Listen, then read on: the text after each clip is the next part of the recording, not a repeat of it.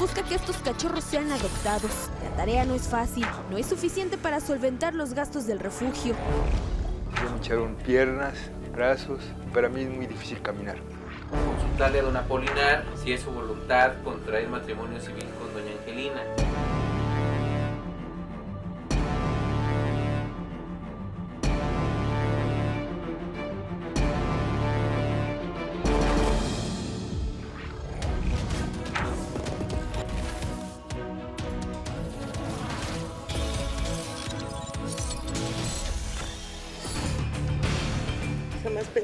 Vivir esto. A veces pienso que es un mal sueño. Esta es la fotografía de Elena Liliet Álvarez López, de 33 años, madre de dos hijas y de quien no se sabe nada desde el pasado 20 de julio. Sale de, de la casa a las 5 de la mañana, eh, llega a su trabajo alrededor de 6, 6 y 10 de la mañana. La última vez que la vieron fue a, a las 7 y media de la mañana. De ahí ya nadie sabe nada de ella, nadie vio cómo desapareció. Realizaron el reporte en Capea por haber desaparecido en la Ciudad de México y en la Fiscalía General de Justicia del Estado de México en el programa Odisea para Personas Desaparecidas, pues reside en Los Héroes de Cámac. Las cámaras de C4 no sirven. Una, la donde se señala donde está su punto de trabajo, no sirve. Y la otra cámara este, apunta hacia el flujo vehicular, entonces no, no se ve nada. Mi hija es una persona muy, muy de familia, es muy buena madre, muy protectora.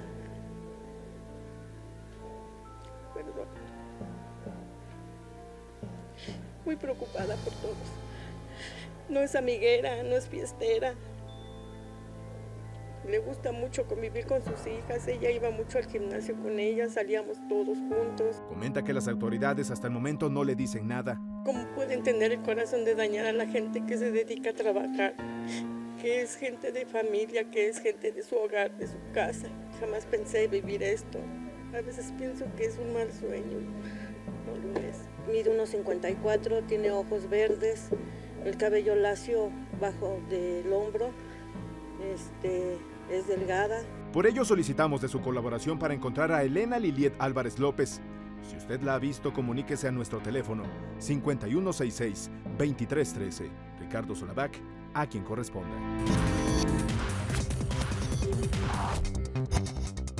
Buenos días, señor Garralda. Mi nombre es Fidel Estrada Benavides y vengo de Ciudad Lázaro Cárdenas a solicitar su apoyo para una demanda que puse en contra de Petróleos Mexicanos y el sindicato de la sección 10, porque yo soy trabajador petrolero de Ciudad Lázaro Cárdenas.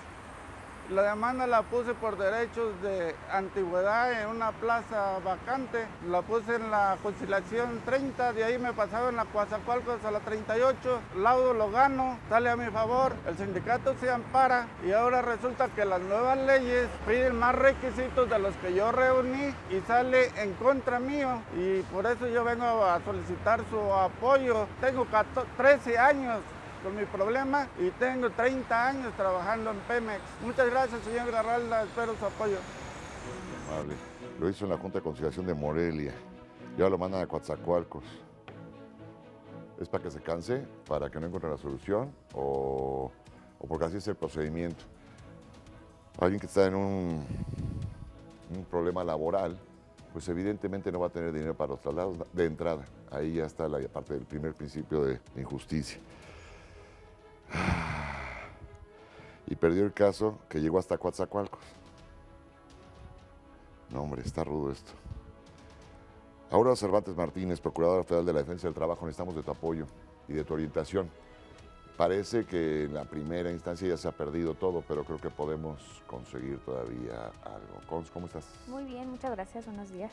Buenos días, pues hoy serán atendidas las casetas en el interior, vamos a hacerlo en el interior porque está esa lluvia mo mojatarugos, que, que, está poquitita la lluvia y dice uno no me mojo y te empapas más que en un aguacero. Vamos a estar, este, hay una zona de protección que estamos tomando en este momento para, para atender a nuestro público que ya llega ahora, para que no se nos mojen y las entrevistas las va a hacer Constanza allá afuera en una zona protegida también. Bueno, Mientras tanto, vamos a Xochimilco, perdió las fuerzas para caminar. Perdió toda la fuerza para poder caminar por la picadura de una araña. Ojo.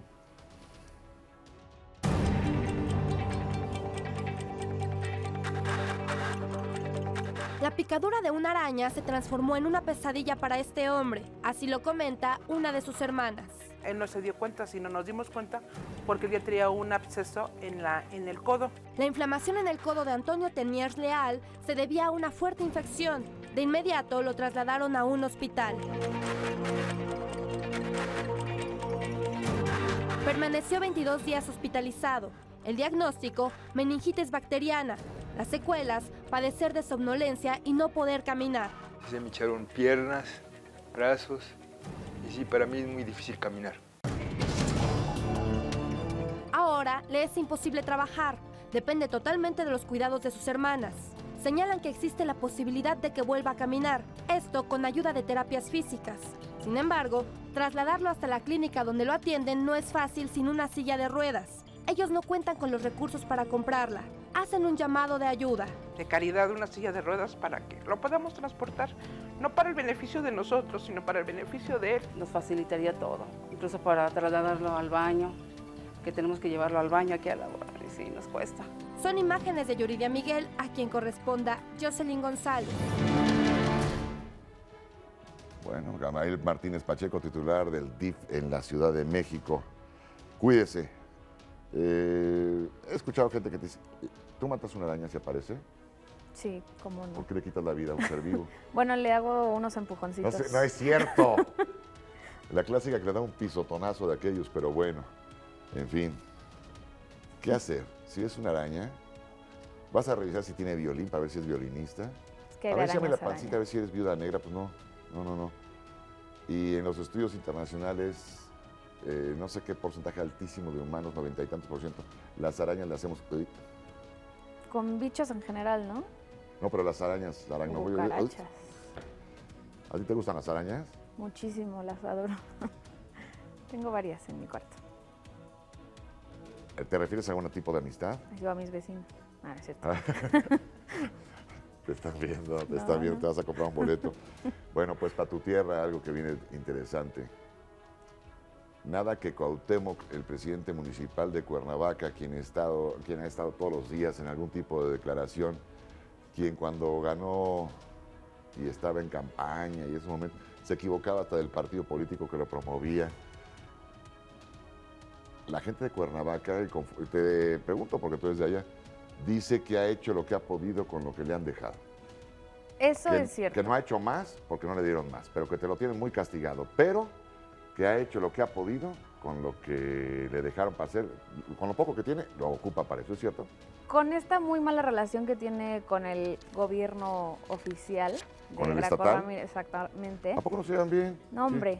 Entre él, Graco Ramírez y el rector de la UAM traen ahí un circo. Es la noticia de diario. Siempre ellos tres están dando la noticia.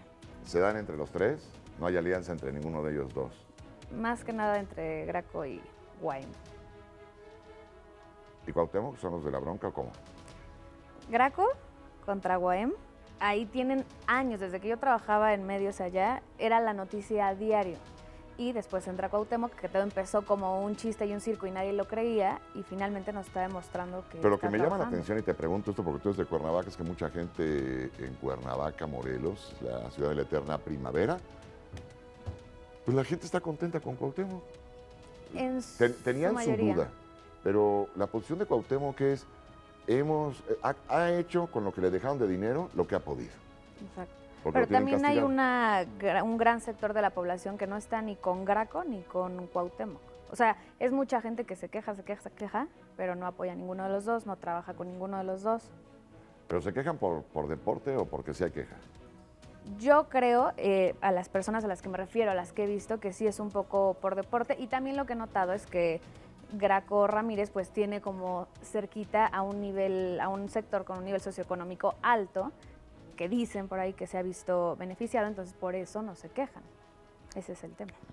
Se declara inconstitucional la reforma para establecer que la residencia para ser gobernador del estado tendría que ser de 12 años y no 5 como estaba establecido. pero ya puede entonces. El alcalde, de, hoy alcalde, el presidente municipal, don Cuauhtémoc Blanco, dijo que aceptará la candidatura a la gobernatura de, de las elecciones del 18 si el partido, Encuentro Social, así se lo solicite. Advirtió, voy con todo y a donde tope contra el mandatario perredista Graco Ramírez y los actuales diputados del Congreso local. Cuauhtémoc, hay declaraciones que hay que soltar un poco después, no tan rápido. Todavía te pueden hacer tres candados para que no llegues. Sí te los aplican, ¿eh? Sí, por favor. Ahí está. Blanco Bravo insistió que gobernador, su hijastro, el actual líder del PRD, Rodrigo Galloso, así como los diputados que le sirven en el Congreso local, están temblando y por eso me hacen lo que me hacen, es decir, los intentos por destruir lo que el cargo de él, ¿no? Y por destituirlo del mismo. Lo quieren quitar de El exfutbolista advirtió, yo no se la voy a perdonar todas las irregularidades que ha hecho, toda la lana que se han robado, voy a investigar a fondo y a donde tope. No se las voy a perdonar. Eso es lo que la gente quiere, ¿no? Sea como fuere, eh, que era guapito, que era grandote, que era chiquito, que es mujer, que es... No, no, no, no, no, estás buscando alguien que venga a poner orden. La primera acción, acabar con, la con los corruptos. Compadre, que fumigue. no va a haber suficientes cerraduras para ponerles en las puertas a todos los que tienes que encerrar. Y guardando de a 500 por, por cuarto. La primera acción, acabar con los corruptos, ir sobre la gente que le ha hecho daño al Estado. O sea, hay que sacar a medio Morelos. ¿Medio Morelos habrá dañado a Morelos? Híjole. Hay carpeta de investigación a algunos alcaldes y las tienen paradas la fiscalía. Yo voy con todos, sea el gobernador, sean los diputados. Cáspita, va a estar vacío Cuernavaca los fines de semana. Cuernavaca es lo que vemos más de Morelos, pero la realidad es que tiene zonas muy amplias, es muy, muy amplio su territorio, también tiene buen territorio. Sí. Morelos tiene lugares donde urge dinero, urgen recursos, y cuando hablamos de Morelos siempre acabamos en Cuernavaca. Claro. Siempre hablamos de Cuernavaca. Es lo que pasaba con Guerrero, Acapulco, pero no hay mucho más. Y zonas donde se necesita mucho, mucho, mucho dinero. Y ojalá que, mira Cuauhtémoc, si la vas a hacer, ya, ya me he divertido mucho yo viendo cómo los traes en jaque. Juraría que es como partido de fútbol. Ellos juegan que vienen por acá, ¡eh! les haces un quiebre, la mueves para acá, la levantas con las dos patitas. Esas son espectaculares. Ese es Cuauhtémoc. Es como un partido de fútbol. Pero no te confíes. No todo es como ir a jugar contra el América. Perdón para los americanistas. Hay equipos también que son este, buenos jugadores. No dije gente decente, pero buenos jugadores. Si vas con eso y vas a hacer algo, yo creo que el cambio no está en un político de carrera nada más. ¿eh? Puede ser un ciudadano que verdaderamente quiera algo por México. Y es el momento que aquellos ciudadanos que quieren algo por México empiecen a hacerlo. No nada más quejarse. Cada vez que escucho una queja de, es que el gobierno hace, quita, pone". ¿tienes pruebas? Demuéstralo. Este, ¿Tú has dado dinero para que esto funcione? Sí, porque si no, no funcionaba. No lo, no lo das. En cuanto empiezas a dejar de dar dinero, mínimo te baja la multa o la mordida. Vamos a una pausa. Yo siempre dije, cuando era candidato, que Cuauhtémoc, a diferencia de los políticos, era muy interesante. Me cae muy bien, me cae muy bien Cuauhtémoc. Este, sí, lo conozco, claro que nos conocemos. Cuauhtémoc nos ha apoyado muchas veces en juguetón. Bueno, creo que todos los juguetones de hace años para acá nos ayuda, ¿verdad? Sí, es cierto. Y, mi comparación con él es un político muy interesante a mi gusto. Los políticos prometen, empiezan la campaña, mira Trump, ya no le da tiempo ni de acabar el muro. La otra mitología se le fue. Si lo religen, sí, pero no creo que pase. Pero bueno, mire, los políticos prometen y ya después, para que ustedes les crean y les voten. Después le dicen que no se pudo porque alguien de otro partido les puso piedras en el camino. Cuauhtémoc prometía goles y cuando los prometía los metía. Y cuando no los metía, explicaba, pero uno vio que hizo la lucha por meterlo. A cuántos políticos que le prometieron cambios importantes en su municipio, en su delegación, en sus ciudades. ¿Cuántos cambios le prometieron y ya se van y ni lo volvió a ver? Hoy en Martes de Fiscales. Si usted conoce o ha sido víctima de algún delito en la zona de la delegación Iztapalapa, el fiscal desconcentrado de dicha demarcación, Víctor Manuel Castro Martínez, lo atenderá para resolver todas sus dudas. Solo llame a la línea ACUSE 5166-2313. Eh, Samia, ¿cómo estás? Buenos días. Muy buenos días. Muy buenos días, señor. ¿Qué tal? Oye, ¿Cómo Samia, está? Sí, señor. Fíjate que estoy recibiendo, ya van varios tweets y varios mensajes que en la zona de la Gustavo Madero, Ajá. de repente están llegando muchísimos ganaderos por las calles, no son avenidas principales, entonces ya están preocupados. Hay presencia de granaderos en calle 8 de Mayo, en la colonia Barrio La Laguna, Ticomán. No podemos salir, no sabemos qué está pasando y la gente, mira, aquí se ven los granaderos, van por avenidas este, no, no principales, ahí se alcanzan a ver los, los granaderos como van caminando. Este tuit tiene 14 minutos y tenemos otros que en la misma Gustavo Madero, que si sabemos qué está pasando, porque en avenidas no principales de esta colonia y en algunas otras de la demarcación se encuentra la presencia de granaderos. ¿Sabes algo, Samia? ¿Tienes informe de algo? La gente Mm. está prefiriendo no salir. Y lo entiendo, ¿eh? Lo entiendo. Claro, si de sí. repente empiezas a ver que en tu calle no vives en una avenida principal y empiezan a bajar granaderos, Pero no ese día te reportas que tienes granadero. Que, este, Claro, pero no importa, señor. Ahorita mismo me puedo comunicar a la fiscalía a ver qué está pasando y en unos momentos le Y a, la, comento. y a la Secretaría de Seguridad Pública para Así es, ver, señor. porque pues, la gente no quiere salir. Y tienen razón, en serio. Claro, Yo sí pues, lo- la seguridad broma, ante pero todo. mejor te reportas con granaderos en la calle. Y dices, no, voy. por granaderos en la calle. Claro que sí. Este, los niños no los quieres traer de regreso a la casa si estás por esa zona, si puedes por ellos a la escuela. Claro, por seguridad, sí, claro. Últimamente están encontrando una que otra lajita en diferentes demarcaciones, pues la gente prefiere No verlo salir, desde la claro. comodidad de su casa, desde la televisión. Gracias, Pero Débora, lo vemos en este momento, claro que sí. esto. Gracias, Samia, muy ¿De amable. qué, Te señor? encargo. Con mucho gusto, claro que sí. Y bueno, el día de hoy está con nosotros Víctor Manuel Castro Martínez, fiscal desconcentrado de la Procuraduría General de Justicia de la Ciudad de México. Él está recibiendo todas las llamadas, todos los comentarios, sugerencias de su demarcación y de alguna otra demarcación que se acerque, que esté en la Ciudad de México. Pero también le dan orientación a quien requiera orientación, porque la ley aquí y allá debe ser la misma. Y hay una instrucción desde la cabeza de la Procuraduría, en este caso ya Edmundo Garrido Osorio, que es el procurador, de darle un teléfono a los fiscales que funciona 24 horas del día, 365 días del año. Los fiscales hace muchos años eran un personaje que estaba encerrado en una oficina, usted ni se enteraba, sabías el nombre de- del fiscal, pero no sabías ni, ni cómo era. Y ahora, desde Miguel Ángel Mancera, esto es desde Miguel Ángel Mancera cuando era procurador, les puso un teléfono que funciona 24 horas del día, 365 días del año. Es el 30 94 6725 y es el teléfono del fiscal Víctor Manuel Castro Martínez. Mil gracias, muy, am- muy amable, gracias Mundo Garrido, procurador. Ok, vamos adelante, vámonos hasta Iztacalco. Nos dicen que esto va sin reversa.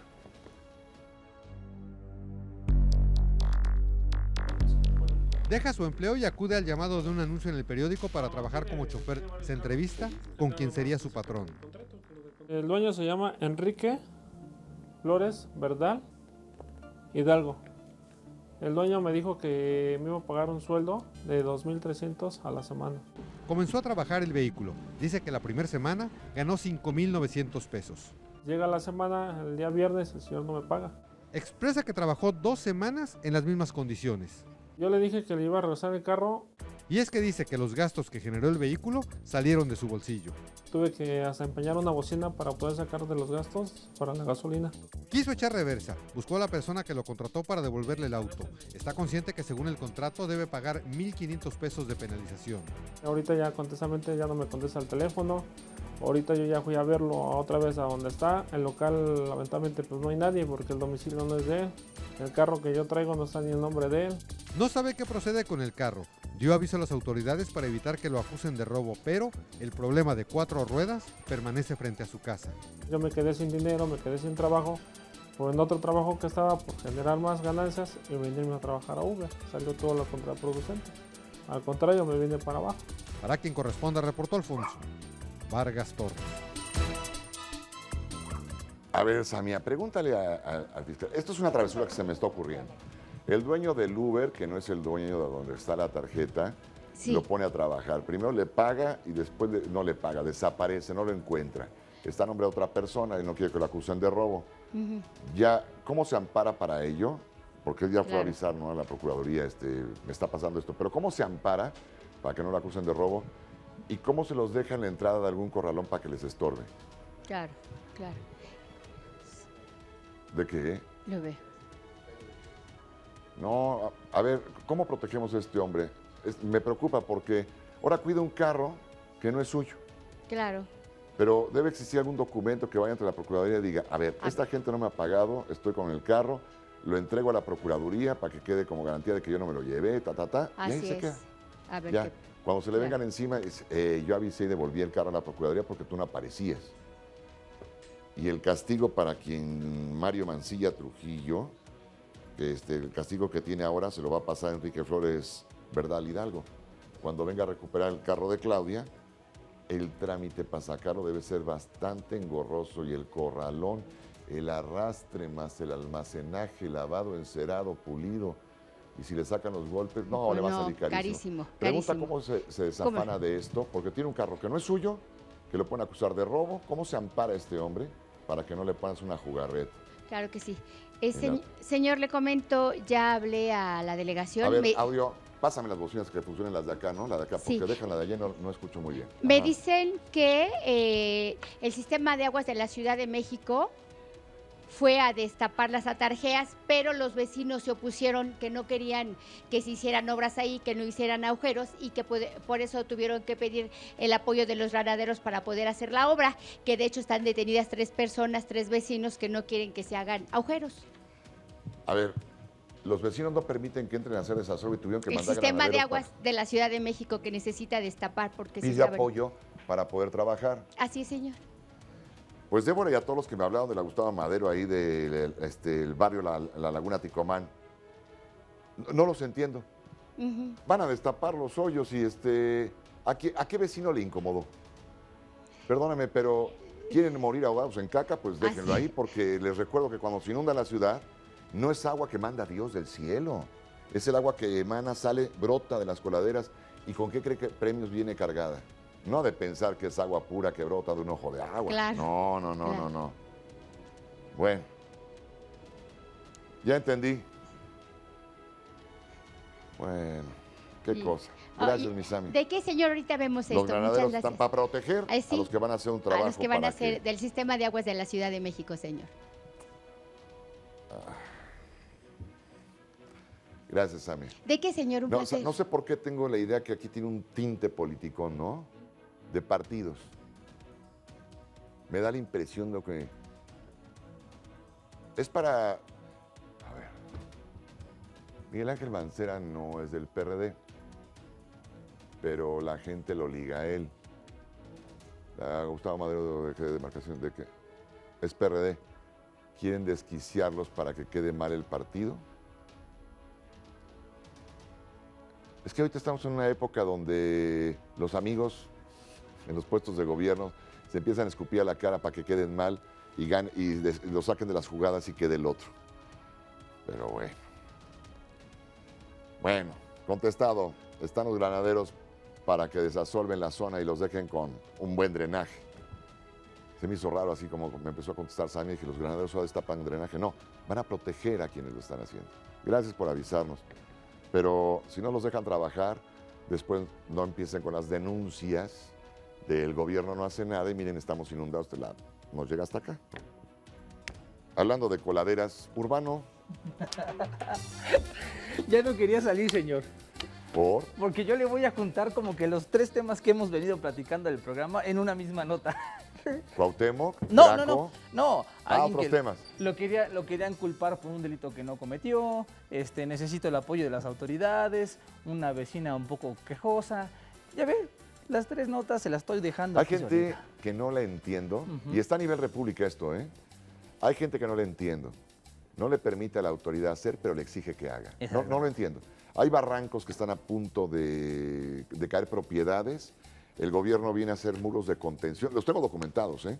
Viene a poner muros de contención para que no se caigan esas casas y sale un vecino que dice, por aquí no entran. Y su casa es la que está abajo. Exacto. O sea, son cosas muy curiosas, muy curiosas. Por ejemplo, lo que acaban de inaugurar, la obra que acaban de inaugurar hoy, que duró dos años, todos los vecinos no querían, pero se ve que ya el tránsito está fluido.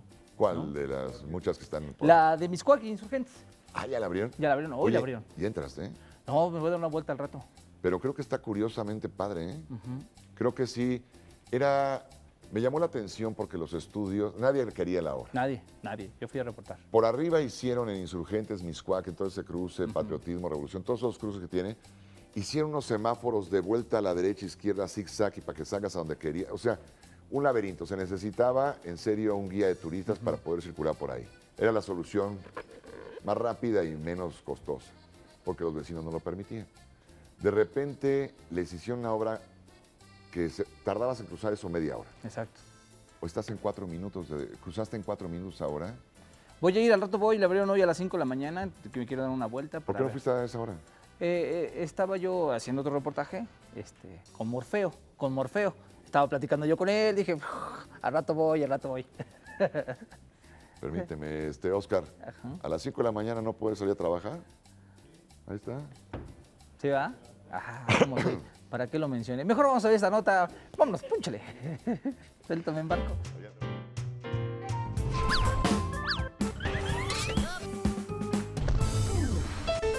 El Twitter tenía un nuevo mensaje para mí. Ah, casa en aparente abandono. Lleva días con fuga de agua. Se encuentra en la calle Adolfo Prieto entre Eje 8 Sur y Parroquia. Al llegar a estas calles de la delegación Benito Juárez es un hecho que la casa está abandonada. Y se nota porque en algunos lados se le sale el agua, solo que no tenía más datos. Hasta que salió una vecina, de esas que no les gusta el chisme, pero que saben todo. Yo creo que se metieron para robar algo del agua porque la casa estaba vacía. Algo de la llavecita. Mandé al Urbandrón a ver si podía ver algo desde el aire, pero al parecer la afectación queda bajo techo. Nuestra comunicativa vecina piensa que alguien se metió a robarle parte de la tubería. Y es por eso que en las madrugadas que regresa la presión, el agua se fuga. No tiene llave, nada más es el puro tubo donde está saliendo el agua. Ahorita ya no se puede cerrar. En un afán de tener más información, la vecina quería que yo me metiera a la casa a investigar. Si empuja la puerta está abierta. Luego la. Pero no, insistía por más excusas que yo le daba. Porque si ustedes, porque si ustedes empujan Pero no, ella quería la información. No. Chale, ¿y yo qué soy? Pues como jefe, sí, confirmamos que la casa está deshabitada. La verdad dicen los vecinos que sí fuga el, el agua, pero es por las madrugadas, alrededor de la 1, 2 de la mañana, es cuando se oye el chorradear. Vamos a buscar las autoridades correspondientes, si quieren pues los acompañamos a ver qué está pasando, ¿no? Ahí venía mi Twitter. ¿Ya lo vieron? Pues quítese Twitter y yo voy a seguir reportando para quien corresponda. El urbanito, ¿no? Y aparte que le den una, pues una barridita, ¿no? Oye, es que ella decía que a alguien... Fallaste. A alguien se quería... eh, se Fallaste. no, no, no. Fallaste. yo- Porque claramente te dice la señora amablemente, ella le empuja y dice, esto es para un hombre. ¿Qué hiciste? Ni un esfuerzo. Señor, es que si uno le empujaba así se podría abrir. ¿Qué tal si yo la abría?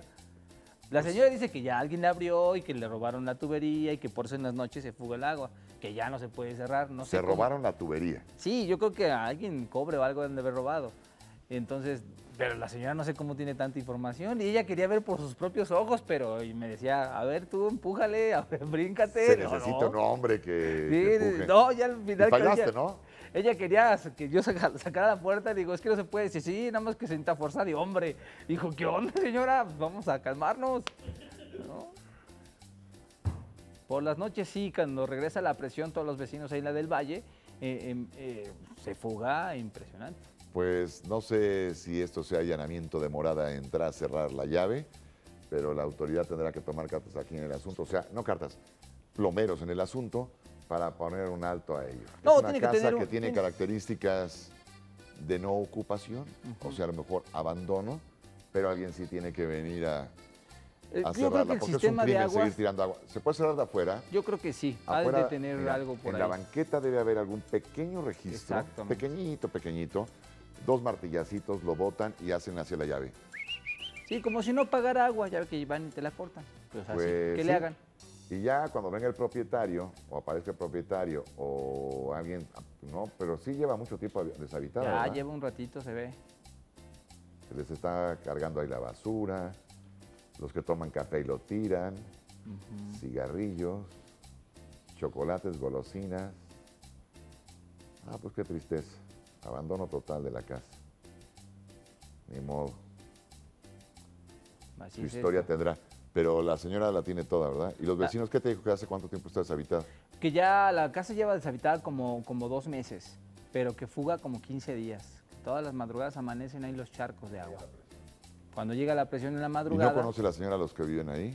eh, los conocía, pero dice que la rentaron. A los, a los legítimos dueños la estaban rentando y los inquilinos se fueron hace como dos meses. A ellos no los Pero conozco. ¿por qué no hablar a los legítimos dueños? Pues yo creo que sí, pero la señora no quiso proporcionarme más información de la que quería que yo sacara. Era como un intercambio, ¿no? Tú me dices qué está pasando ahí adentro y yo te doy teléfono. bueno, jefe de la ciudad de la Benito Juárez, date una vuelta, compadre, da- un, este, un ojito y pide el apoyo de Ramón Aguirre Díaz. Cerrar la llave por fuera. Si ellos tienen una fuga, a lo mejor no se han robado nada y tienen una fuga, se fueron los vecinos y reventó la tubería. Mira, fíjate, es una historia más sencilla, más cool. Reventó la tubería y no hay quien la cierre. Exacto. Bueno, pues puede llegar la autoridad y por aquí, por donde vemos el poste, por aquí debe existir alguna forma de cerrar. Y listo. Y así no hay allanamiento de morada. Exactamente. Casi te vas a un ilícito, ¿eh? No, no, señor, yo me cuidé. Ya lo veo a la señora y el detenido, con, su, con, la, cari- con la carita así como y su casquita amarilla. Eh, Ella me dijo. yo A le- ver, ¿me lo puedes hacer el efecto para ver cómo se vería? ¿Sí lo pueden lograr allá arriba? El, el urbano con la carita blureada. Sería padre, ¿no? Eso. ¿Pueden o no? Están, sí, a, a- a lo mejor sí. hoy. Sí, tú y la señora detenidos por haber abierto la puerta. Y él quiso demostrar que era muy hombre, que sí, era hombre. es que sí me dolió el orgullo cuando dijo, se necesita fuerza de hombre, me dice la señora. Ahora me quería dar de picones para que yo abriera esa puerta. Que Pero sí, a ti no de te haber querido, nadie. señor, yo con un dedo la abro, pero yo no quise. Bueno, ¿a dónde vamos? ¿Vamos a una pausa? Estaría padrísimo, tú y la. Con y con tu casquito La pijama de, de- de cebra. ¿No? Aquí no es de cebra, No, ¿verdad? beige. Beige, ¿verdad? Kaki. Ah, es que de cebra se ve más bonito. De cebra, nada más el sheriff de Maricopa, ¿no? Los ponía en cebra. Vamos con esto. Ahí está. Es el presunto. Ponlo ahí. Ponlo ahí. No te muevas, gracias. Él y su cómplice. Eh, él, ella y su cómplice. Él tenía la fuerza de un hombre, abrió la puerta. Sí. Ella el intelecto, él la fuerza bruta. Ella bien abusada y él abrió la puerta. Conexión Acuse en tu ciudad. Bien. Vamos con Mariana Iparrea. Ya está listo. Allá desde la comarca lagunera. Vamos hasta Coahuila. Mariana, ¿cómo estás? Hola, hola. Hola, ¿qué tal? Hola, ¿qué tal? Los saludo con mucho gusto desde la comarca lagunera y en esta ocasión les presento a Raquel, una mujer que padece artritis desde hace más de 30 años y ahora solicita una silla de ruedas eléctrica. Vamos con el reporte. Raquel es una mujer de 59 años de edad que padece artritis reumatoide, enfermedad crónico-degenerativa que afecta las articulaciones del cuerpo, en la cual el sistema inmunológico ataca sus propios tejidos, incluidas las articulaciones. dolor, molestia en cada una de las articulaciones. Si es que el artritis es algo que te deteriora, que no nada más te duele un pie o nada más te duele una rodilla, no, te duele cada cosa que mueves. Hace poco más de 30 años le fue diagnosticado el padecimiento de artritis y su vida le cambió drásticamente. No puede realizar actividades cotidianas como cocinar, escribir o caminar por sí sola. Sin embargo, ha salido adelante y día a día lo ha demostrado. Utiliza un andador para trasladarse de un sitio a otro, pero este la limita en sus labores, pues no tiene la posibilidad de salir de su hogar por su cuenta. Ahora que su enfermedad ha avanzado, requiere una silla de ruedas eléctrica. Poderme movilizar yo de, sin, sin cargar tanto peso en mis hombros, en mis codos y no, no seguirme deteriorando día con día. Raquel, como testimonio de una persona con artritis, pide a la comunidad que reconozca este padecimiento y lo atienda de inmediato ante el primer síntoma. Asimismo, solicita la donación de una silla de ruedas eléctrica para poder trasladarse cómodamente, ya que por el momento no tiene los recursos necesarios para adquirirla. A quien corresponda, Mariana Iparrea. Raquel tiene la esperanza de vivir una vida digna y una silla de ruedas eléctrica podría facilitarle bastante su día a día. Hasta que la información, muchas gracias y saludos desde la comarca lagunera. Gracias, Mariana, muy amable. Gracias, este, Salomé y Banco, si eres tan amable. Paulina, Paulina, Pau. Señor Garralda, buenos este, días. Hola, ¿qué tal? Hace, sé que ahorita no estamos para pedir este, favores a Texas, andan muy golpeados, pero en cuanto puedan, si me ayudas haciendo un contacto con One Stop, One Group, a, este, a ver si de casualidad nos pueden donar alguna de las sillas de ruedas eléctricas que, habíamos platicado. ¿sí? Claro que sí, nos ponemos en contacto con la fundación. Muy amable, mil gracias. Estamos muy pendientes, gentil. señor. Este urbano, Sí. ¿No quieren que vaya a la comarca lagunera? aquí a la comarca. Eh, pues, a, a ser urbano, señor, por allá, yo. No conozco. Oscar. Sí, me van a dar, me van a dar. ¿Qué No, pasó favor. con Ando buscando una urbanita por allá, ando, ya ve expandiendo territorio, expandiendo territorio, quiero que, que se una la gente. Te gustó Mariana y Parrea, ¿verdad? Ah, ¿cómo crees, señor? Yo soy un hombre casado, un hombre casado. ya, Sí, claro. ¿por qué no la traen? ¿Más claro que? Oscar, ¿qué es esto? ¿Qué es esto? Ah, señor, los problemas que usted me mete. ¿Yo? ¿Qué- ¿Quién la quiere? ¿Quién la quiere? ¿No? ¿Quién la quiere? Ah, señor, tráiganla ya. Pues no sé, tú y esta bola de perros que estuvieron ahí. Mira, Mariana, mira, Mariana. A ver, ¿de qué fue la nota Mariana? Piénsalo. No me acuerdo. Conexión AQC en tu ciudad. Ah, de una silla de ruedas eléctrica que necesitamos, estoy Ah, pidiéndola, sí, pero sí. estaban distraídos tú. Y quiero que sepa que el urbano y ocho que estaban ahí estaban ahí en el. No, señor, no, señor. Yo siempre he respetado a mis compañeras. Siempre. ¿Por qué no le invitas a que venga a hacer lo del urbanito? No, mejor otra cosa, mejor otra cosa. Es invítala, pero a hacer otra Pero yo cosa. creo que me lo van a dejar discapacitado cuando llegue a su casa. Sí, mi mujer sí me va a dar con todo. Yo, voy a necesitar las sillas. ya. Te lo agradecemos mucho, ¿eh? No, fue un placer verlos hoy. Y tal vez sea la última que nos veamos, pero no, no, no te apures, ¿eh? Ya conmigo en el estudio, Rodrigo Galván de las. ¿Cómo estás? ¿Cómo te portas? Bien, gusto saludarte. Igualmente. ¿Tú no quieres mandarle saludos también allá a la comarca lagunera? ¿No te No, gusta a ti? Yo La- sí me meto en problemas. La, lamer, navajas de afeitar, masticarlas es como riesgoso, ¿verdad? Yo sí me meto en problemas fuertes. Pues no los tiene gratis. Pero le vale, ¿no? Yo no lo veo muy... Ándale, Rodrigo. Es bocón, es bocón, es bocón. Pero bueno. ¿Cómo andas? ¿Cómo está tu ánimo? ¿Todo Bien. tranquilo? De eso se va a tratar hoy, Jorge. Del ánimo de los mexicanos. Uy, ya. Gracias. La encuesta nos dice que estamos reprobados. La cosa está de la fregada. Muy amable. Gracias.com. Es correcto.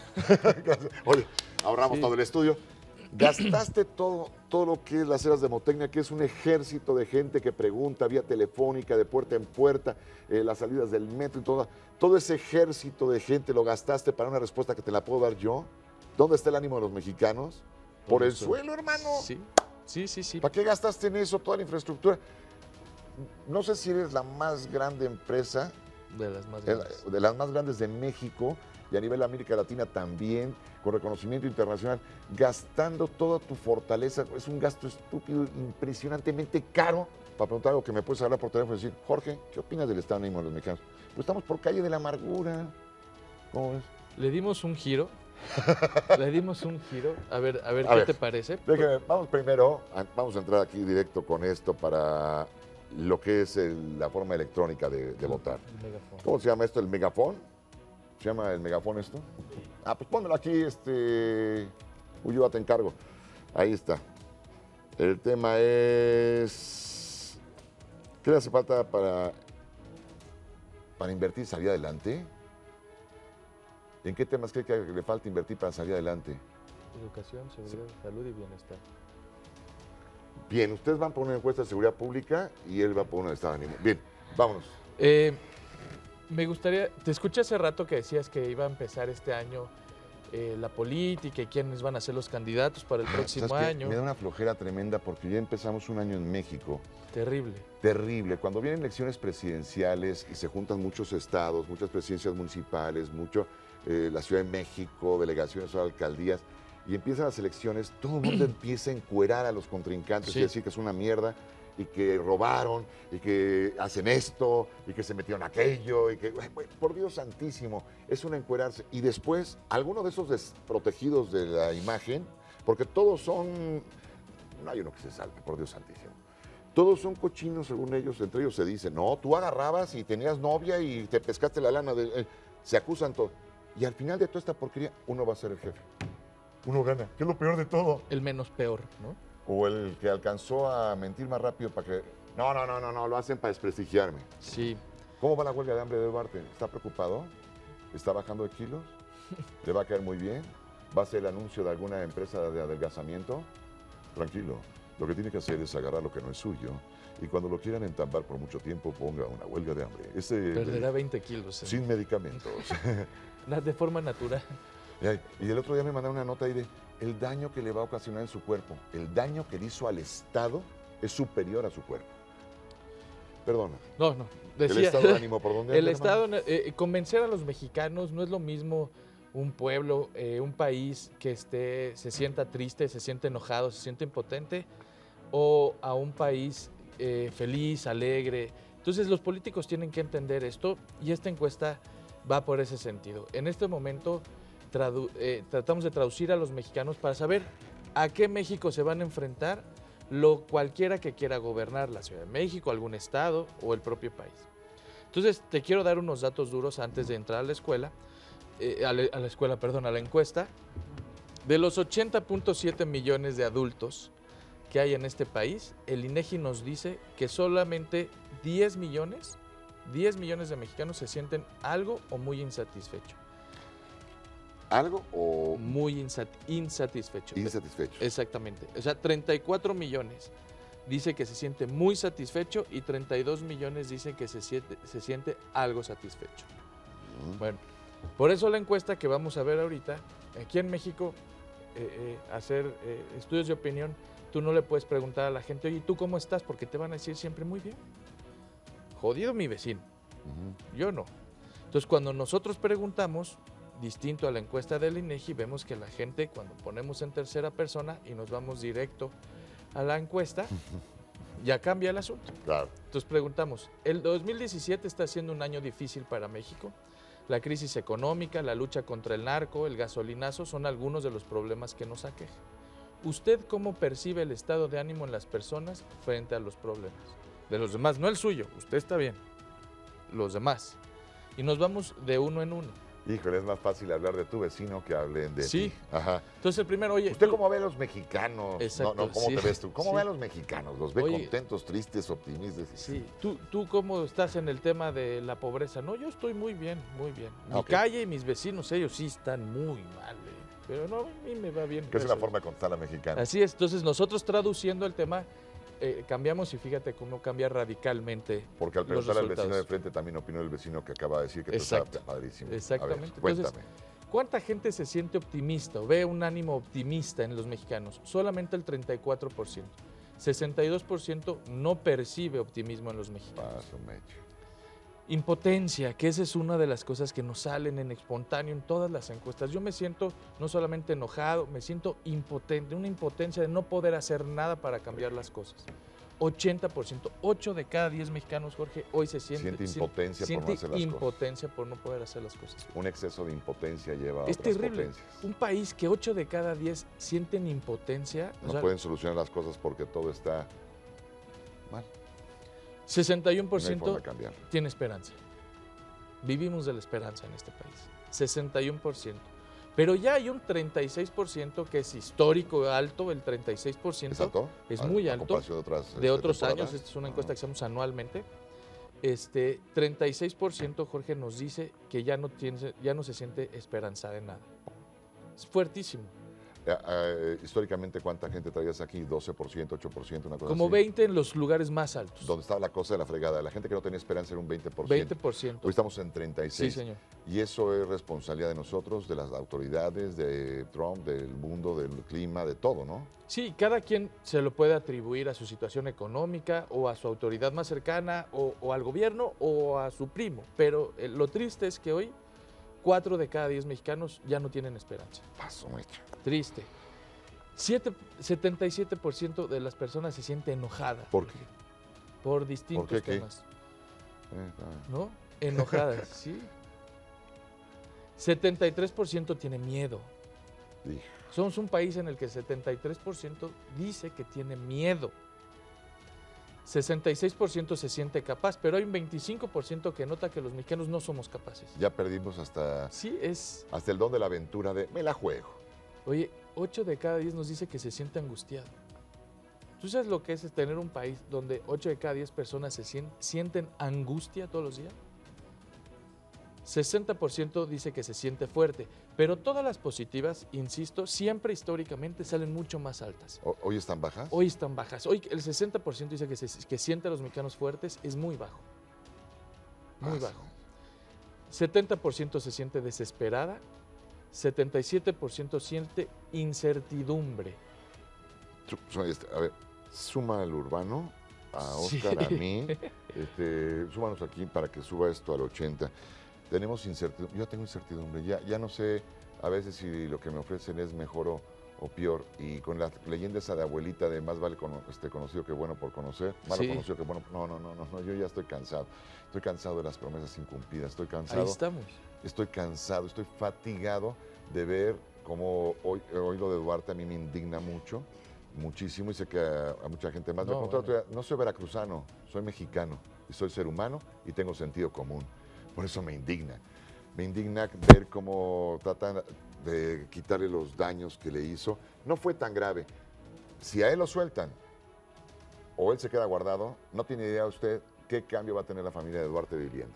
No, no. Van a vivir como ma- marajás, como si hubieran sacado petróleo en su tierra y no lo tenían. Se volvieron ricos de la noche a la mañana. Sin huelga de hambre, seguro. Sin huelga de hambre y con huelga de hambre. Y el guardado, Sí, sí. la familia, los suegros, la esposa, los hijos van a vivir como marajás. No tiene usted idea de lo bien que van a vivir. Y esas cosas ya nos tienen cansados los mexicanos. Pescan Sí. a uno y 80 se van con la cartera llena. No, frieguen el día. ¿Cómo, cómo, cómo, no, cómo no vas a estar ya con esas este, incertidumbres de El serán número, buenos? el número más alto de la encuesta, con 84%, es hartazgo. Te faltó preguntarnos a nosotros, hubieras llevado 93, compadre. Está fuertísimo, ¿no? Que 84% nota hartazgo en los mexicanos. Pero esto es un material histórico que hay que compartir. Claro. Pues yo te digo a dónde vas a mandar copias de esto. Ajá. 58% dice que no se siente resignado y el 66% dice que no es indiferente a los problemas. Antes o, o históricamente cuando hacemos esta, esta gráfica, esta pregunta, esta encuesta, era antes, bueno, la gente se siente de- eh, sin esperanza, pero capaces para salir adelante. Ok. Eh, se, tenía miedo, no sentía miedo, pero sentía mucho enojo. Ahora no encuentro un punto positivo. Uno, si siente, hay impotencia, desesperanza, enojo, hartazgo, miedo, angustia. Entonces, las próximas campañas electorales para escoger presidente va- se van a basar, como tú lo dices bien, en desacreditar Ah, ya. al de enfrente. Ya, ya. Ahórrenselo. Ya sabemos que todos, todos van a decir que agarraron todos. Todos van a decir que hicieron mal las cosas el otro. Todos van a decir, ya. Y las propuestas, pero reales. Y no que me las firme, de, de testigo. No, no, no, no, no, no, no, no. Las que sí va a poder. Confío más en alguien que me diga, voy a hacer 14 kilómetros de la, de la carretera de 87.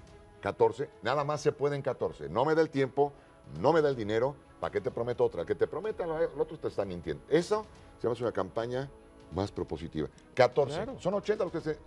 te- mi tiempo me da para 14 y el dinero son 14, no se puede más. Eso, la honradez en una campaña, no lo que los políticos piensan que es honradez. No, no, no, no, no. Pero bueno.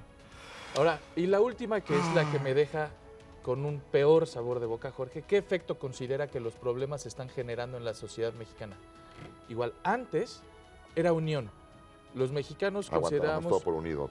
Ajá, decíamos, bueno, sí estamos este, pues de la tostada, pero unidos, estamos unidos, vemos un México, un país. Ahora nos dicen que estos problemas están provocando divisiones y enfrentamientos entre los Cierto, mexicanos. cierto, lo estoy viendo así. Y eso sí, para que veas, en este país era lo que nos mantenía La unión. vivos. Y esto ha sido producto de todos los partidos políticos. No hay un bueno y un malo. Todos los partidos políticos, al desacreditarse entre unos y otros y decirnos que los de un color son malos, que los del otro color son buenos, y eso nos ha hecho quedar en colores, en partidos, en personas.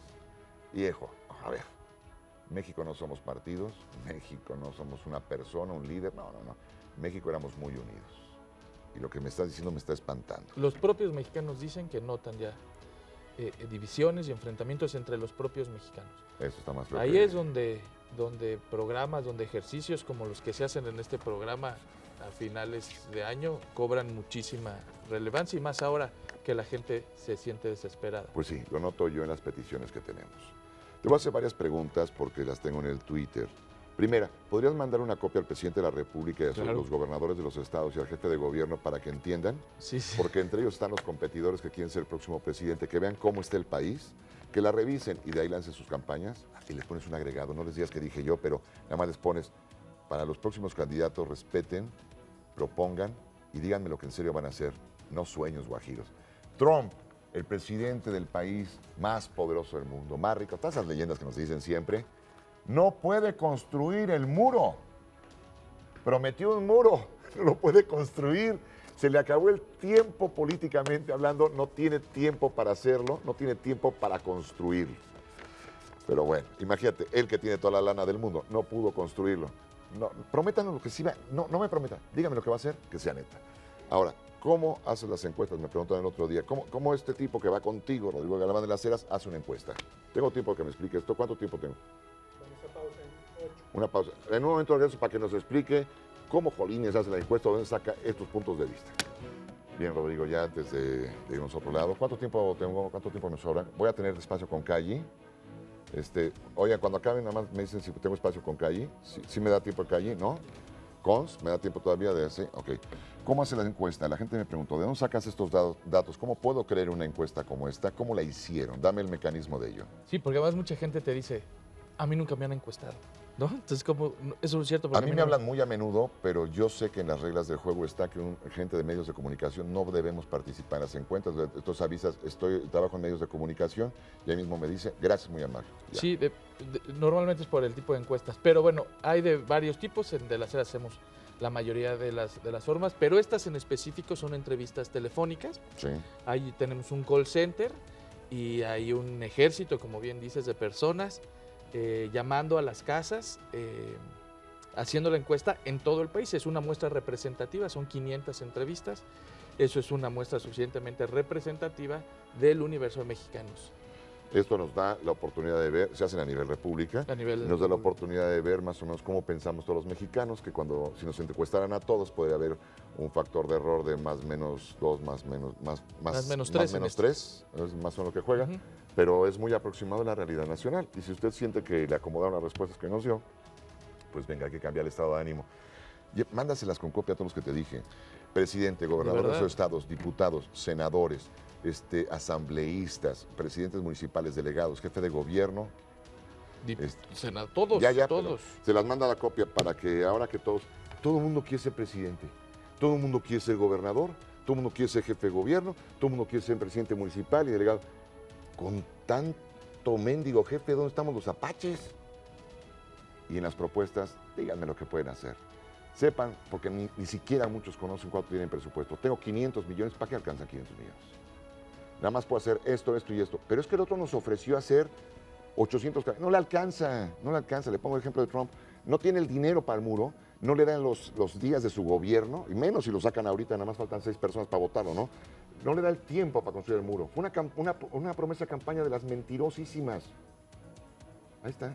Voy con Constanza. Tengo tiempo ir con Cons. Cons, nada más te saludo. Este, pues vas a tener que cambiarla porque Rodrigo se puso a darnos miles de explicaciones, se puso a hablar hasta por los codos. ¿eh? Gracias, Cons. ¿De qué? Muy Nos amable. vemos en un Gracias, este, Urbano. Si no te hubieras extendido con el, tu Sí, tus chuleadas esa. Ya, dile a tu mujer que es una broma que te retan. Tranquila, le dijimos que si no lo hacía, Oscar no lo iba a invitar a comer el día de hoy, entonces tuvo que ponerse a chulear a, a todo mundo. Y menos mal que le tocó que fuera niña. Tranquila, nada más te aviso para que no, no le cargues calor. Lo retaron, lo retaron aquí el productor, se puso, ¿cuánto que no lo haces? Y no lo iba a hacer, pero lo amenazaron. Ya con eso ya creo que no te Ya, lo ya pena, con eso ¿no? ya la libré, señor. Gracias, muchas gracias. Hoy vas a No, dormir con el perro, man, pero bueno, en fin. Pues te agradezco mucho, Rodrigo. No levantaste el ánimo de la familia mexicana que nos ve. Nos arruinaste, pero bueno. Este, el estado de ánimo de los mexicanos, salimos a la calle, ¿lo puedo sacar ese? ¿O tampoco tengo tiempo para ese? Pues ya corra ese. Me traen así muy castigado. Pues yo siento que trabajando mucho, ¿no? Tenemos que ganarnos el pan de cada día y pues poder sobre, sobre, sobre- sobreexistir nosotros mismos. Yo creo que el trabajo duro y constante es lo que hace que el mexicano pues salga adelante. Que no dejarse caer por las malas situaciones. Hay que siempre salir adelante con el apoyo de la familia. La clave es trabajar, trabajar duro. Si queremos que el país salga adelante, cada quien tiene que poner su granito de arena para hacer que las cosas fluyan. Pues yo creo que seguimos teniendo como esas ganas, ¿no? Algunos de seguir saliendo adelante sin importar todo lo que pase a nuestro alrededor, sino esas ganas de por nosotros salir como mexicanos. Lo que quiere decir que ahora a quien le preguntaron por salir a la tele y preguntarle positivo, pues te dice algo muy lindo. Sí. La realidad es que quiero a México, amo a México, amo a los mexicanos, respeto a las autoridades. Lo que no quiero que me hagan otra vez es que me pierdan el respeto a las autoridades a mí. Díganme la verdad, díganme lo que pueden hacer. Yo lo respeto, ¿por qué no me respetan a mí como ciudadano? Felicidades a Ramses Barona, eh, su cumpleaños el día de hoy. Es una de nuestras momias egipcias que tenemos aquí, por eso Abuelito. Ramses II. Felicidades, enhorabuena. Nos vamos. Miguel, en nombre de todo este equipo, soy Jorge Arnaldo y un consejo, ¿sabe qué? No se dejen. Estas son las mañanitas que cantaba el rey David.